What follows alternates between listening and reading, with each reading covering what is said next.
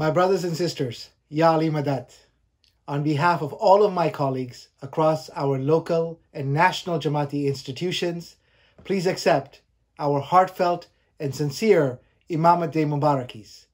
We pray for your good health, happiness, mushkil asan, safety, and prosperity. Amin. Today, as we mark the 63rd anniversary of Hazar Imam's Takht-Nashini, we submit our shukrana for Khudavind's 63 years of gracious guidance and immense benevolence, care, and protection for the USA and the global Jamaat. We also extend our humble shukrana for the talika that Mawlana Hazar Imam sent to the global Jamaat on the occasion of Imamat Day. We are most fortunate to have a fourth communication from the Imam during this pandemic. We are also blessed that the Imam, out of his immense love and affection for the Jamaat, has authorized temporary modifications in certain ceremonies to allow Jamaat Khanas to reopen as soon as safely possible.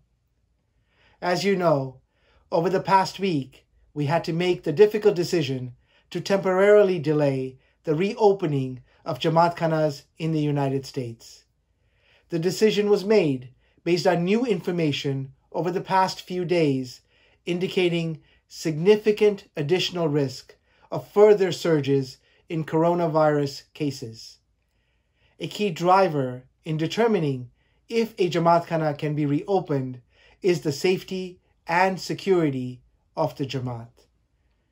This additional information indicated that it would be prudent to continue to temporarily delay the reopening of any Jamaat Khana at this time. We regret that we cannot yet reopen, but we remain hopeful and optimistic that we can do so in due course, inshallah. We will continue to provide the Jamaat with regular updates on the status of Jamaat Khana reopenings. We thank the Jamaat for its continued support during this entire period of the global pandemic, and we urge every Jamati member to continue taking personal responsibility and following all precautions recommended by medical professionals to prevent the continuing spread of COVID 19. In addition to our gratitude for the guidance of our Imam Zaman, we are grateful also for the immense dedication of Jamati volunteers and staff during this past few months.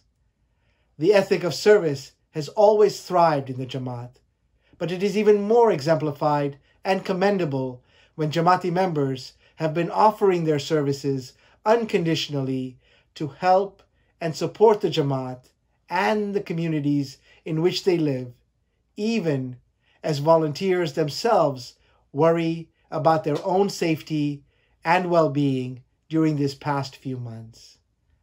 We extend our sincere appreciation to every Jamati member who has volunteered or contributed to help our fellow Jamati members and our local civic communities through this pandemic. In the end, we convey our Mubarakis to all Jamati members appointed to various Jamati institutional positions, as well as Jamati and Majalis, Mukhi, Kamadia, Mukhyani, Kamadiani positions, and thank the retiring members for their seva. Imam Mubaraki.